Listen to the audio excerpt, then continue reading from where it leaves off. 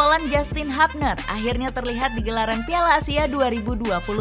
Shin Taeyong dibuat terpukau dengan permainan Hapner sebagai bek tengah maupun gelandang jangkar. Padahal pemain keturunan Belanda ini sempat dipandang remeh sebelum Piala Asia dimulai.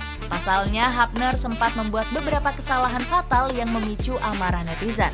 Namun, di Piala Asia 2023, Hapner mampu beradaptasi dengan baik dengan permainan skuad Garuda. Bagaimanakah ledakan kualitas brilian Justin Hapner bersama timnas Indonesia?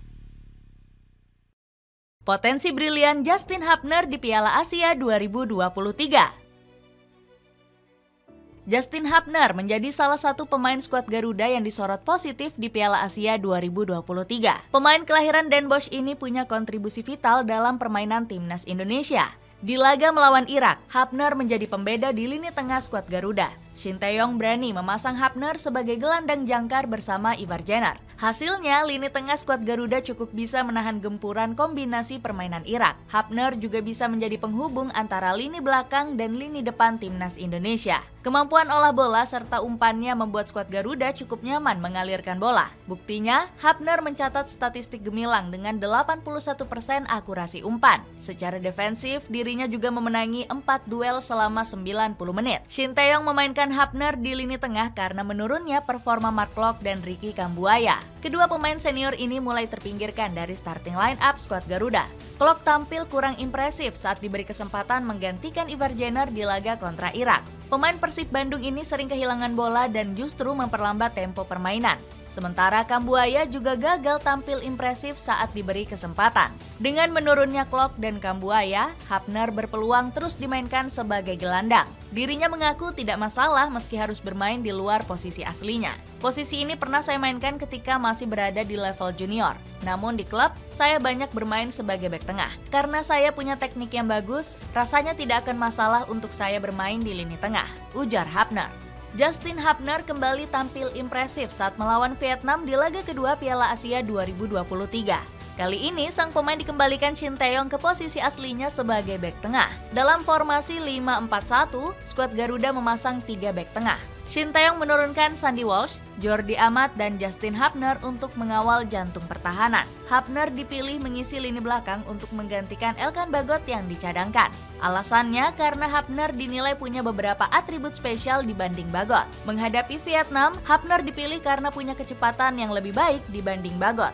Hapner membuat lini pertahanan skuad Garuda lebih aman dari serangan balik cepat. Kemudian, pemain Wolverhampton U21 ini juga punya jam terbang yang lebih baik dibanding Bagot. Hapner berhasil tampil reguler bersama tim muda The Wolves di kompetisi Premier League 2. Sementara Bagot kesulitan mendapat menit reguler bersama Ipswich Town. Pemain berusia 21 tahun ini bahkan belum diturunkan sama sekali di divisi Championship. Performa Hapner berhasil membawa skuad Garuda meraih kemenangan atas Vietnam. Di akhir laga, sang pemain juga terlihat dengan bangga mencium lambang Garuda di jersey. Hapner juga bermain lugas tanpa ampun untuk menjegal para pemain Vietnam. Dirinya berani berduel dan menerjang keras punggawa skuad The Golden Star. Dilansir dari Fotmob, Hapner mendapat rating terbaik kedua setelah Hernando Ari. Fotmob memberikan Hapner rating 7,7 karena tampil solid di lini pertahanan skuad Garuda. Sempat dihujat tajam jelang Piala Asia 2023. Sebelum dicintai publik tanah air, Justin Hapner sempat mendapatkan pengalaman buruk. Dirinya pertama kali dipanggil skuad Garuda saat menjalani training center di Turki.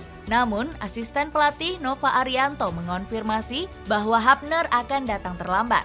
Rencananya, Justin Hapner baru bisa bergabung dengan tim pada tanggal 1 Januari 2024, kata Nova Arianto. Sehari setelah bergabung, Hapner secara mengejutkan langsung menjalani debut kontra Libya.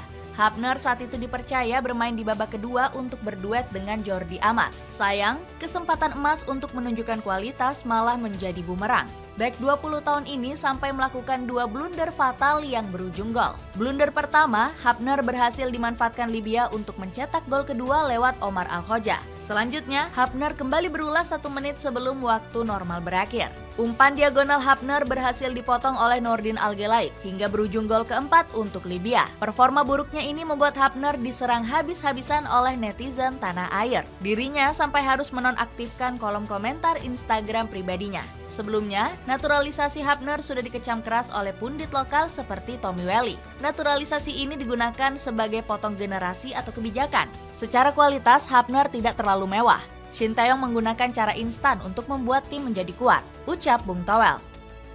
Masa depan cerah milik skuad Garuda dan Wolverhampton. Penampilan hebat Justin Hubner di Piala Asia 2023 ternyata dipantau oleh Wolverhampton. Dukungan penuh diberikan oleh The Wolves pada sang pemain sejak laga pertama.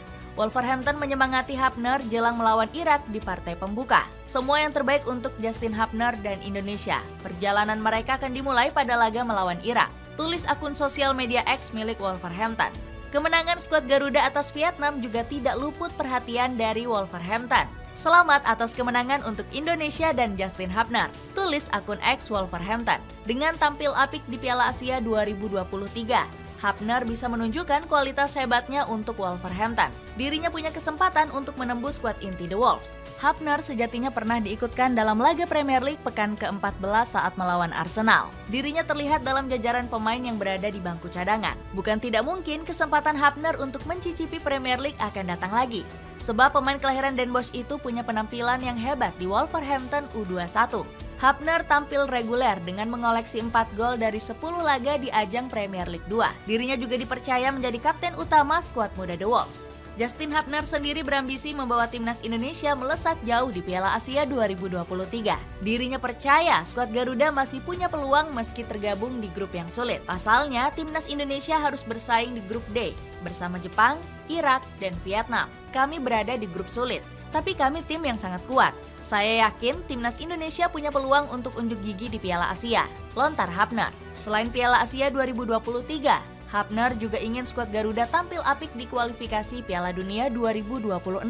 Bahkan Hapner berambisi membawa timnas Indonesia lolos ke panggung Piala Dunia. Kami akan melakukan segalanya untuk bisa lolos. Semoga Indonesia bisa lolos ke Piala Dunia 2026, katanya. Akan tetapi, jalan berat harus dijajal oleh skuad Garuda dan Hapner apabila ingin lolos. Pasukan Shin Taeyong memetik hasil yang kurang baik di dua laga awal. Timnas Indonesia harus menyerah secara telak 5-0 atas Irak di laga perdana. Lalu skuad Garuda juga harus rela berbagi satu poin di pertandingan kedua menghadapi Filipina. Kini timnas Indonesia berada di posisi buncit pada klasemen grup F. Skuad Garuda bakal kembali berlaga di kualifikasi Piala Dunia 2026 pada bulan Maret dengan melawan Vietnam.